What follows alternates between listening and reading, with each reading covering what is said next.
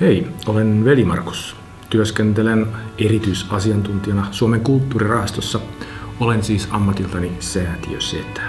Koska säätiöt ovat monelle hieman mystisiä olioita, ajattelin valottaa asiaa tässä uuden aikaisessa videoblogissani. Tänään on aika nostaa kissa pöydälle. Kulttuurirahasto on yksityinen säätiö.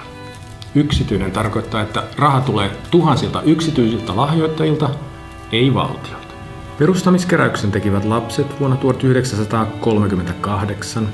He kulkivat ovelta ovelle kaikkialla Suomessa. Nykyisin varallisuus karttuu testamenttien ja lahjoitusten kautta. Kulttuurirahasto jakaa apurahoja tieteelle ja taiteelle, mutta tukee myös laajemmin yhteiskunnallista kehitystä. Apurahoja haetaan kerran vuodessa ja hakemuksia tulee todella paljon.